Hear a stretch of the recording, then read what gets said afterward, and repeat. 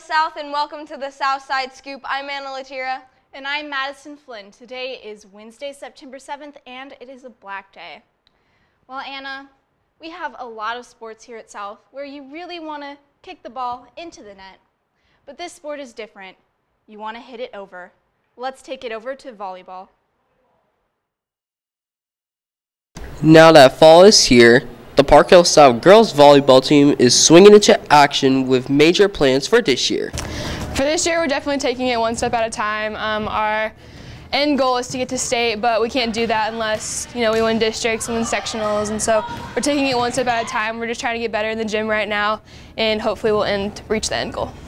With all the hard work paying off to go to state, this year's seniors are looking back as a freshman to now.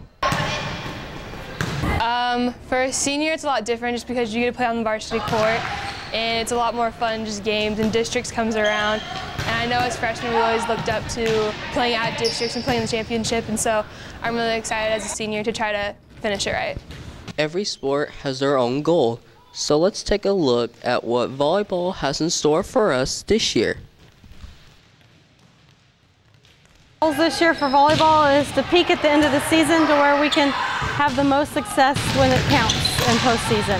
While the volleyball team makes their goals into reality, I'm Gavin Kirate, reporting for the Southside Scoop, signing off.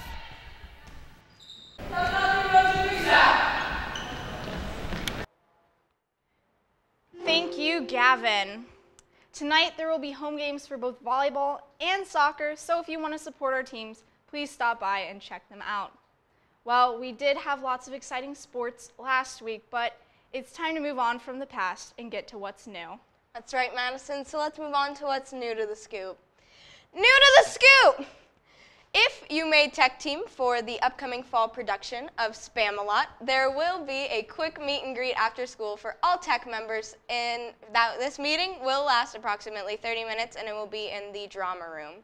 The replacement cost for student ID cards is $5. Students who need to replace their school ID card can are asked to bring exact change when possible.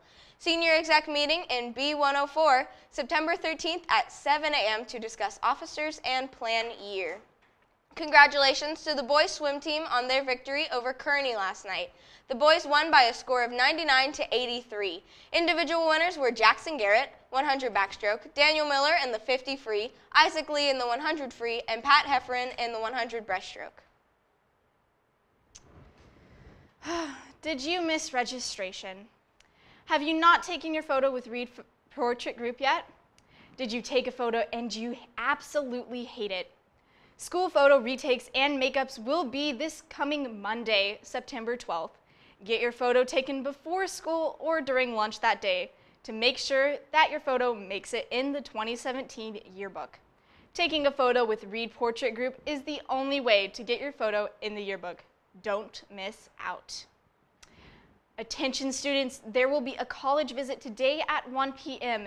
If you're interested in learning more about Lindenwood University, don't forget to sign up in the Counseling Center today before it's too late. On the lunch menu today, we have popcorn chicken, pizza bagel bites, and the premium meal is calzone with marinara sauce. Happy birthdays today go out to Brock Ivy and Nicole Wilson. That's all the news we have for you today on the Southside Scoop. I'm Anna Latira. And I'm Madison Flynn. Have a wonderful day, Park Hill South.